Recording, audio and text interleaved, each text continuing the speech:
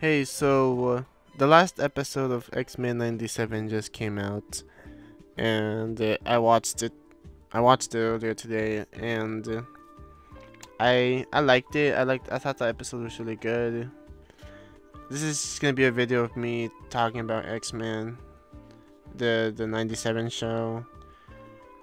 I watched the original one. I watched the the I watched the entirety of the five seasons of the original show uh, before I watched X Men '97, and I'm glad I waited uh, for all the X Men '97 episodes to come out because I prefer it. uh, It was a better. I think it was a better experience, in my opinion, to watch some to watch them back to back instead of waiting each week for them.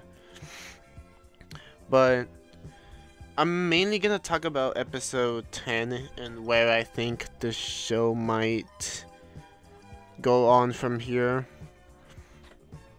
Um, but I'll, I'll briefly go over the episodes of the show before I talk about the finale. The, the first episode to me my X-Men was really was a was um I think it was a good introduction, like a reintroduction to the team.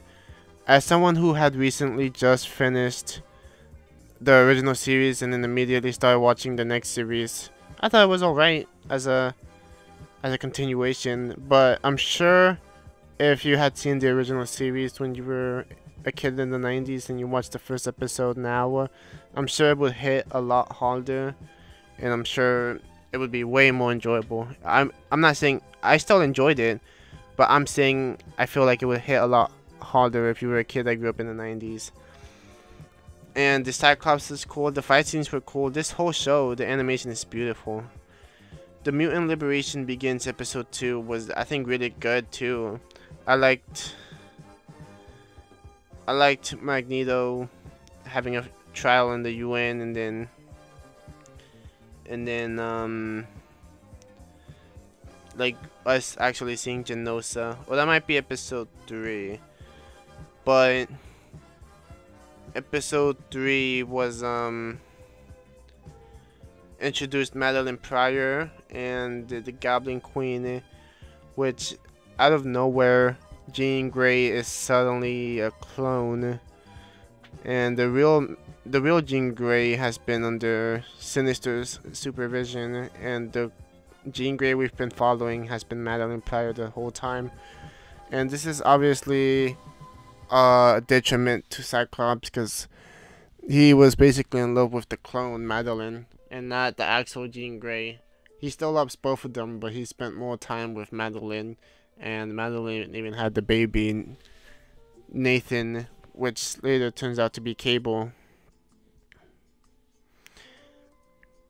And episode four i really had nothing like again like had nothing i had like no hopes because the villain in that the villain for that episode is mojo and i just hate mojo. I think his episodes is I, even even in the original show i think his episodes were so pointless and uh, he just doesn't come off as like a threatening villain.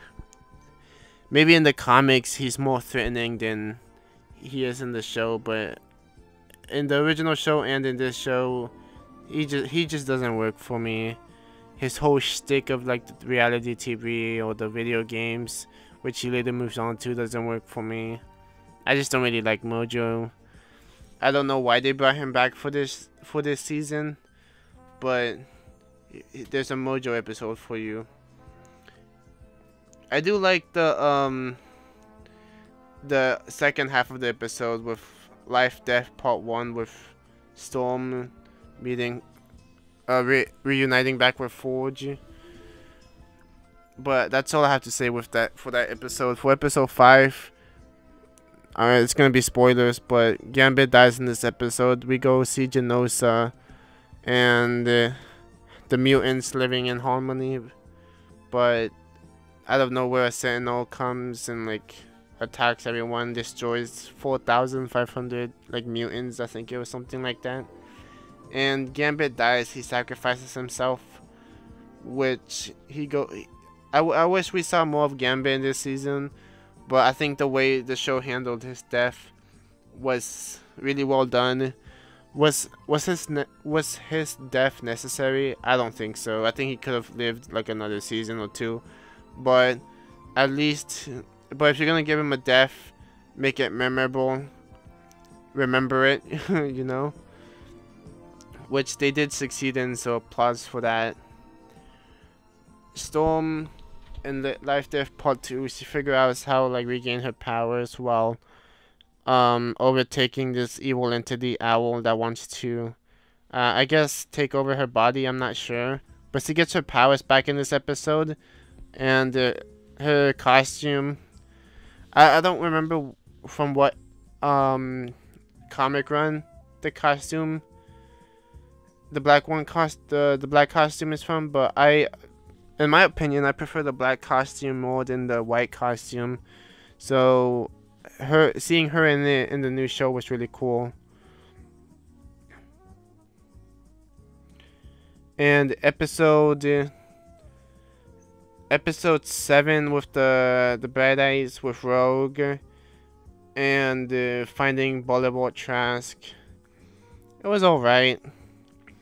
Uh, Rogue, I think I have a few not really issues, but I have a few feelings about Rogue, how they wrote her in this season. Like, I don't think this was ever, like, even hinted at in the original series. Like, I know it was in the comics, but not the show. But, like, out of nowhere, she has a thing for Magneto. And I guess they had a relationship. And in this show, they kind of try to do, like, a love triangle thing before Gambit dies. And it doesn't really work for me. I don't like I, like the way it was handled, I feel like there should have been more explained, like why they like drifted apart, why they separated. But I didn't really like how she was with Magneto, and then out of nowhere, she at the end she chose to be with um, Gambit, only for Gambit to die, of course. But but see, like I understand to a degree, but she acts like really reckless in the episode and doesn't even contact the X-Men about where um about Gyrich and the, the information she wants from him. And the tolerance's existence. I think the last three episodes were the best episodes of the whole series. Because this is really the episodes where we got the the stakes were really high and uh, we just had no idea where the direction was gonna go for them. And part one gives us a Spider-Man 99 a Spider-Man 90 cameo, so I like Spider-Man, so that was good for me. But in term, but by this point, they discovered that the um that the Sentinels they discovered by this point they discovered that the real villain behind everything is not it's not Sinister. It's not Gyrich, Bolivar Trask, or the Cent or Master Mold. But it's a villain named ba Bastion. And uh, Bastion is from a um, from a past where he got his dad got infected with a virus from the future. And uh, he's basically like a living sentinel, like a living, breathing sentinel of flesh.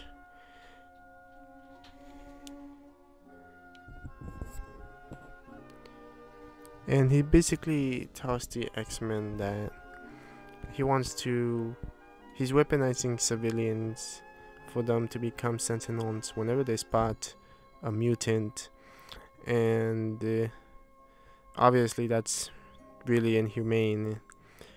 And basically, the X-Men have to stop Bastion before before the Sentinels wipe them out because they are more inferior and uh, powerful than a regular um, a regular robot Sentinel. And uh, I really like the action in this show. Like there, there there's like a Nightcrawler fight with Wolverine and I love Nightcrawler. I think Nightcrawler is one of my favorite characters. And there's a scene where Logan is stabbing one of the Sentinels, and we see a glimpse of Nightcrawler's portals when he teleports. I thought that was really cool. Um,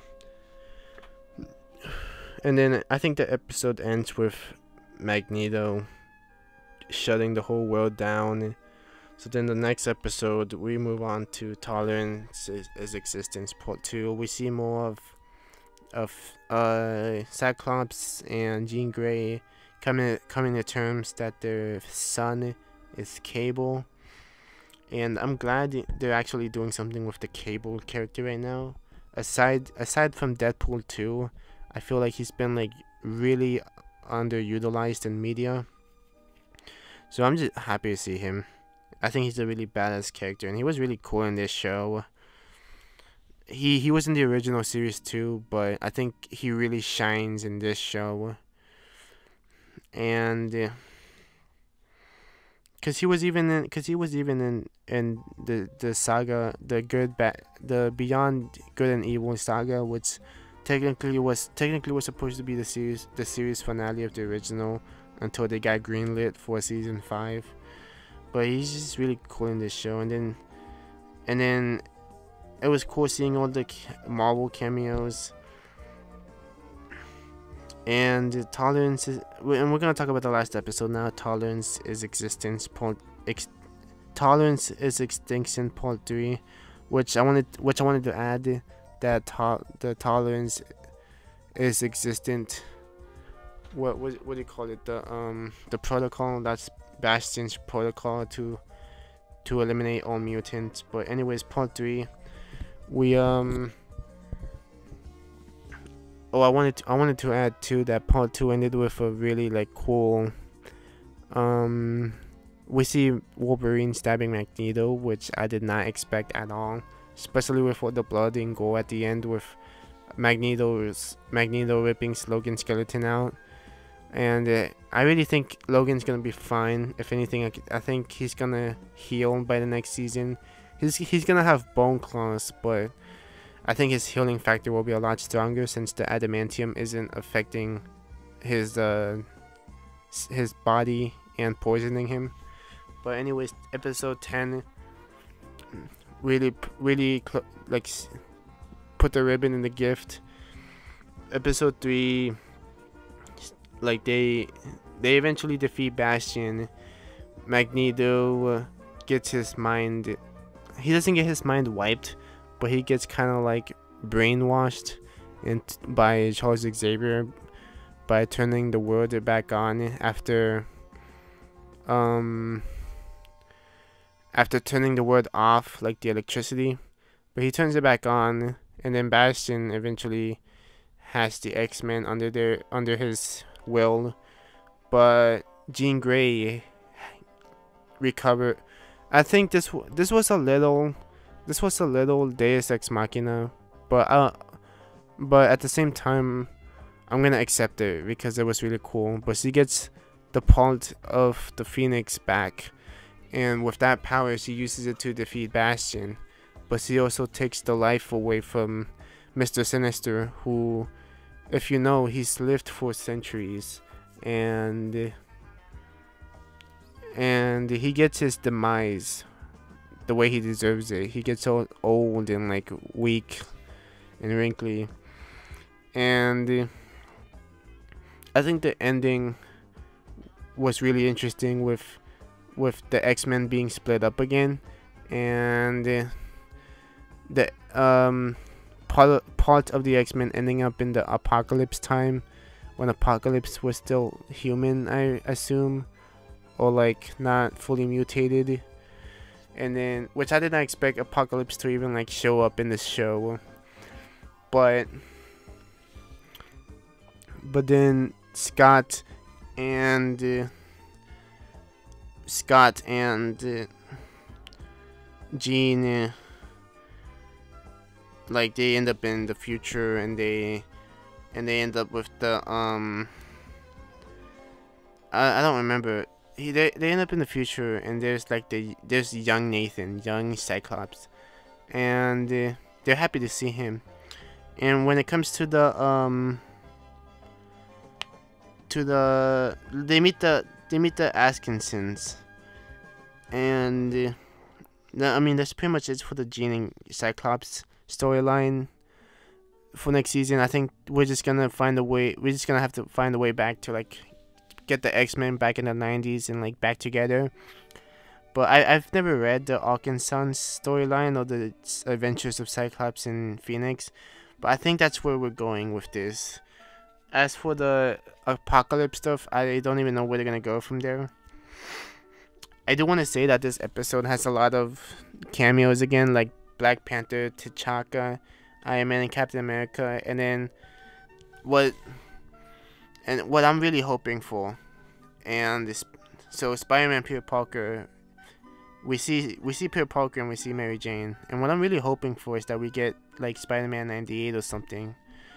But seeing them was cool. I'm glad that Peter eventually found MJ from that, from that, um, that cliffhanger that we never got the resolution of for the original '90s Spider-Man.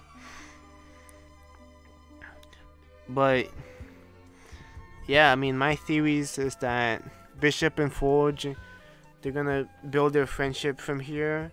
This is the start to their eventual friendship in the future, so how we would see in the original series. And,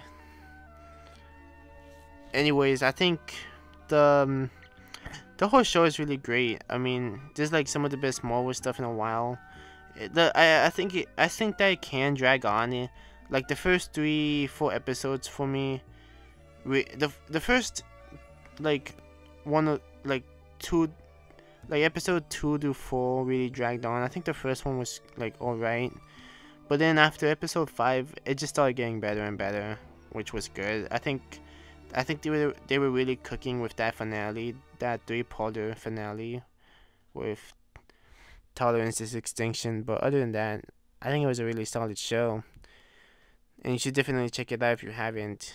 A lot of people ask if they should watch the original show before this one, and in my opinion, I, I I'd say why not. I mean, the original show is just as good. It concludes right before this show starts, and I think it like it's like groundwork for like getting to know these characters. But anyways, that was just my rant on X-Men. It wasn't really a rant, just me talking for like, I don't know, 20 minutes or something. But anyways, that's enough guys. If you guys want to um, if you guys want to subscribe, support, go ahead, please. Anything will be appreciated. And I'll see you guys next time. Sorry for the long video. I just I just really wanted to talk about this and I might even had I, I even I might even had more to talk about. I just don't remember. I'm not going off a script or anything. But other than that, thank you guys. See ya.